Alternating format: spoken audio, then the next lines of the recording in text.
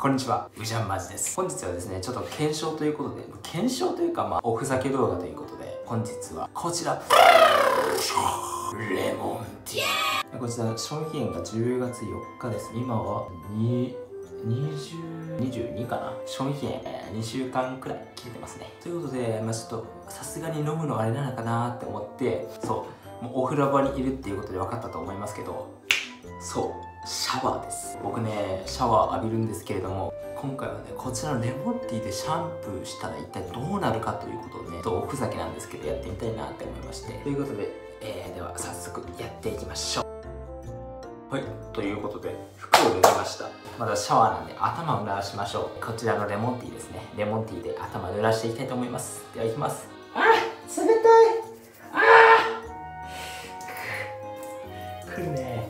ね足もったいないもったいないあこぼれないであもったいないもったいないちょっとあの見てほしいんですけど。おしっこした人みたいになってる。まあそんなことはさておき。髪の毛濡れたんでねもうちょっともうちょっと。はい。これでまんべんなく濡らしましたね。めちゃくちゃレモンティーの香りがしますね。はいではここでシャンプーをやっていきます。うわーあー俺は今やっていけやってはいけないことをやっている気分だ。あ 人として何かを失ってる気がするよ。でもねなんかね髪の毛ワシャワシャやってて気づいたんですけど普通の水より、ま、なんか泡のまとわりつきというかそそれなんかいい気がしますねそっちの方が。これなんかレモンティーの作用かなんかなんですかね。まあいいですよ。ちょっとレモンティーで散髪したのでこちら。って変わってないですね。あんまりですね。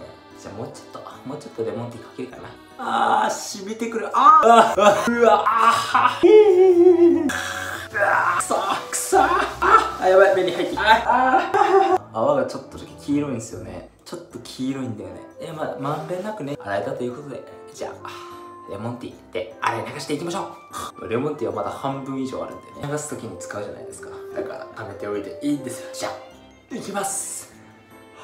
あーきた。あついた。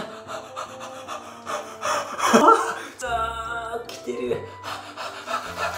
冷た。い滑った。ああ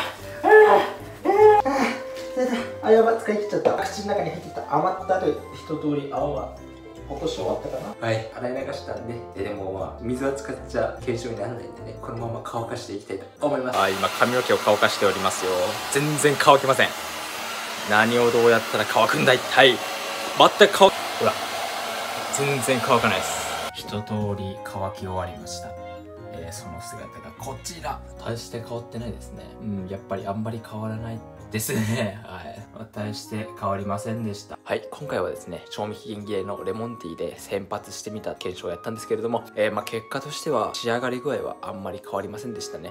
まあ、強いて言うなら髪の毛がレモンティーの香りがしてすごく良かったかなっていう印象ですね。検証結果レモンティーで先発をすると髪の毛がいい匂いになる以上。